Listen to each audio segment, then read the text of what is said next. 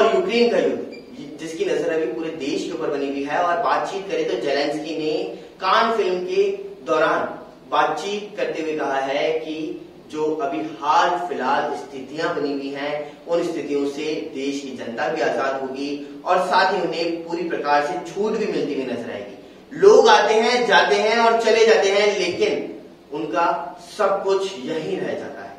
और इसी को लेकर के वह क्या कुछ कहते हुए नज़र आए हैं? सीधा से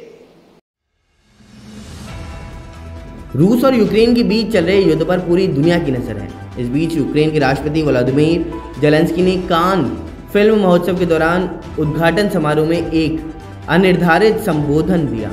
संबोधन के दौरान उन्होंने द ग्रेट डिटेक्टर फ़िल्म में चार्ली चैपलिन के अंतिम भाषण को उत्कृष्ट किया और कहा, पुरुषों की नफरत समाप्त हो जाएगी और तानाशाह मर जाएँगे।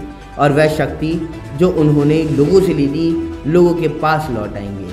अभिनेता से नेता बने जेलेंस्की ने एपोकैलिस नाउ और चार्ली चैपलिन की द ग्रेट डिटेक्टर जैसी फ़िल्मों का संदर्भ देते हुए सिनेमा और वास्तविकता के बीच में संबंध का उल्लेख किया है, जिसमें नाजी नेता एडॉल्ट हिल्टर का मज़ाक उड़ाया गया था। जेलेंस्की ने कॉन्स फ्रांस में समारोह के लिए अपने आश्चर्यजनक वीडियो संदेश में कहा है कि हमें एक नए चैपलिन की आवश्यकता है। जो यह प्रदर्शित करे कि हमारे समय का सिनेमा चुप नहीं है। आज सिनेमा खामोश नहीं है। इन शब्दों को याद रखे। जेलेंस्की ने आगे कहा कि लोगों से जो शक्तियाँ ली गई हैं, वह लोगों को वापस कर दी जाएँगी।